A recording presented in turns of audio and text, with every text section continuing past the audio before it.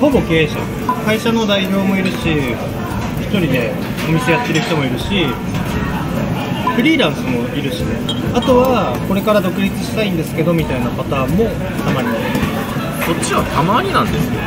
昔はねむしろそういう方が多かったりとかしたんだけどそんなイメージ。これからフリーランスになりたいんですよねみたいな人とかが多かったけど今は結構ねなんかもう経営者だと。でもさ圧倒的に年上ばっかりだよ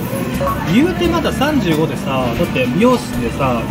なんかどっかで店長とかやってる年長ぐらいですね。ねでも35ぐらいで独立するみたいなのってあるわけじゃん。こう35の今この時点で会社7年目っていうのは結構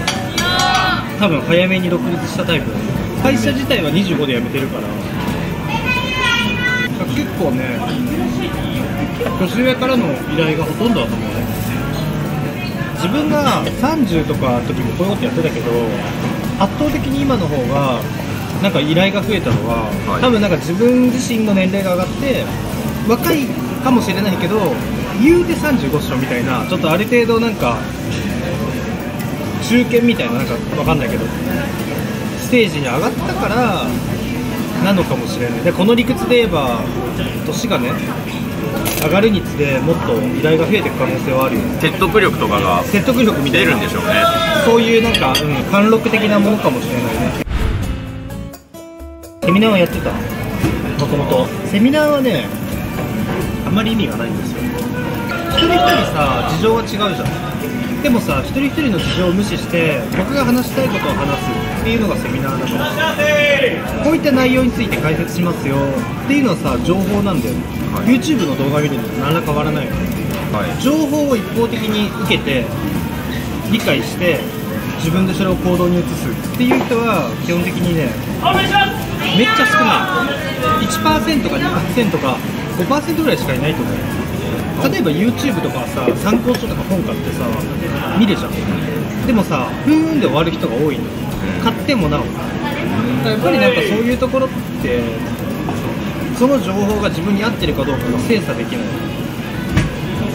だこの人はこう言ってるけど自分がこのやり方をやってみてどうなんだろうなとかいう判断がつかなかったりそもそも言ってることがよくわからんみたいなのも多分結構あって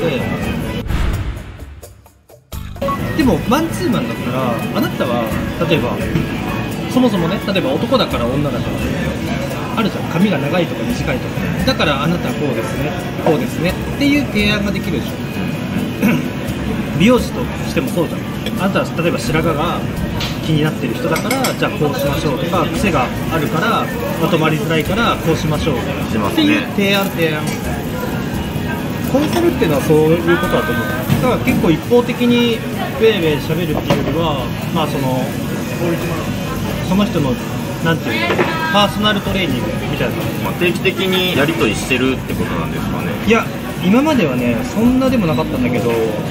これからでもちょっとまあ最低月1回とかは電話とかでちょっとやらないとダメだなっていうのは哲学とかテーマじゃないかなと思っ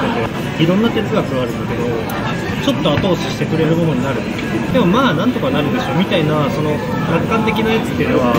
ある意味なんかねずれてるのだいぶ。結構ねこういう話の方が好きなんですよ。